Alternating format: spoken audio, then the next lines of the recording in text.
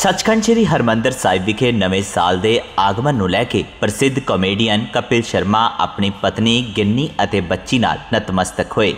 ਇਸ ਦੌਰਾਨ ਉਹਨਾਂ ਦੇ ਨਾਲ ਪ੍ਰਸਿੱਧ ਪੰਜਾਬੀ ਗਾਇਕ ਜਸਬੀਰ ਜੱਸੀ ਵੀ ਦਿਖਾਈ ਦਿੱਤੇ। ਕਪਿਲ ਸ਼ਰਮਾ ਤੇ ਜਸਬੀਰ ਜੱਸੀ ਨੇ ਦੱਸਿਆ ਕਿ ਨਵਾਂ ਸਾਲ 2023 ਨੂੰ ਸ੍ਰੀ ਹਰਮੰਦਰ ਸਾਹਿਬ ਵਿਖੇ ਪਰਮਾਤਮਾ ਦੇ ਦਰਸ਼ਨ ਕਰਕੇ ਮਨ ਨੂੰ ਬਹੁਤ ਸਕੂਨ ਮਿਲਿਆ ਇਸ ਮੌਕੇ ਉਹਨਾਂ ਅਰਦਾਸ ਕੀਤੀ ਕਿ ਇਹ ਨਵਾਂ ਸਾਲ ਹਰ ਇੱਕ ਲਈ ਖੁਸ਼ੀਆਂ ਭਰਿਆ ਹੋਵੇ। ਬਸ ਜੀ ਗੁਰੂ ਘਰ ਆ ਕੇ ਹਮੇਸ਼ਾ ਹੀ ਮਨ ਨੂੰ ਸ਼ਾਂਤੀ ਮਿਲਦੀ ਹੈ। ਔਰ ਬੱਚਿਆਂ ਨੂੰ ਮੱਥਾ ਟਿਕਾਉਣਾ ਸੀਗਾ ਇਹ ਪਹਿਲੀ ਵਾਰੀ ਆਏ ਨੇ। ਅਸੀਂ ਹਮੇਸ਼ਾ ਰਾਤ ਨੂੰ ਉਹਨਾਂ ਨੇ ਆਰਾਮ ਨਾਲ ਬੈਠ ਕੇ ਜਾਈਦਾ। ਤੇ ਅੱਜ ਸਾਨੂੰ ਸੀਗਾ ਬੱਚਿਆਂ ਨੂੰ ਮੱਥਾ ਟਿਕਾ ਦਈਏ।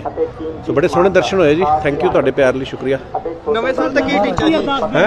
ਅਰਦਾਸ ਬੇਨਤੀ ਕੀ ਹੈ ਨਾਲ ਟੀਚਾ ਕੀ ਨਵੇਂ ਸਾਲ ਦਾ ਟੀਚਾ ਕੋਈ ਬਸ ਜੋ ਰੱਬ ਨੂੰ ਮਨਜ਼ੂਰ ਕੰਮ ਕਰੀ ਜਾ ਰਹੇ ਹਾਂ ਹਾਂਜੀ ਹਾਂਜੀ ਨਵੀਂ ਫਿਲਮ ਵੀ ਆਏਗੀ ਜੀ। ਇਸੇ ਸਾਲ ਜ਼ਵੀਗਾਟੋ ਕਰਕੇ ਇੱਕ ਫਿਲਮ ਆ ਰਹੀ ਹੈ। ਹਾਂਜੀ। ਬਸ ਜੀ ਸਰਬਤ ਦਾ ਭਲਾ ਹੀ ਚਾਹੀਦਾ। ਬਾਬਾ ਜੀ ਮੇਰਾ ਰੱਖਣ ਸਭ ਤੇ। ਜੀ ਅਵਲ ਅੱਲਾ ਨੂਰ ਉਪਾਇਆ ਕੁਦਰਤ ਕੇ ਸਭ ਬੰਦੇ ਏਕ ਨੂਰ ਤੇ ਸਭ ਜਗ ਉਪਜਿਆ ਕੌਣ ਭਲੇ ਕੋ ਮੰਦੇ?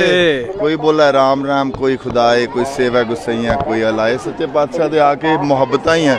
ਇਹ ਹਜ਼ੂਰ ਦਾ ਜਿਹੜਾ ਮੈਸੇਜ ਆ ਨਾ ਉਹ ਹੀ ਦੁਨੀਆ ਦੇ ਵਿੱਚ ਵੰਡਣਾ ਚਾਹੀਦਾ। ਕਿ ਮੁਹੱਬਤਾਂ ਵੰਡੋ ਪਿਆਰ ਕਰੋ ਜਿਨ ਪ੍ਰੇਮ ਕੀਓ ਤਿਨ ਹੀ ਪ੍ਰਭੂ ਜਸੀਂ ਅੱਜ ਨਵੇਂ ਸਾਲ ਤੇ ਇੱਥੇ ਪਹੁੰਚੇ ਜੀ। ਕੀ ਕਹਿਣਾ ਚਾਹੋਗੇ? ਜੋ ਟੀਚਾ ਹੈ 2023 ਦਾ ਕੀ ਮਿੱਥਿਆ ਵਾ? ਕੋਈ ਫਿਲਮ ਆ ਰਹੀਆਂ ਜਾਂ ਕੋਈ ਗੀਤ ਆ ਰਹੇ ਨੇ ਨਵੇਂ? ਟੀਚਾ ਸਭ ਤੋਂ ਵੱਡਾ ਤੇ ਇਹੀ ਸੀਗਾ ਕਿ ਇੱਥੇ ਆਉਣਾ ਹੈ।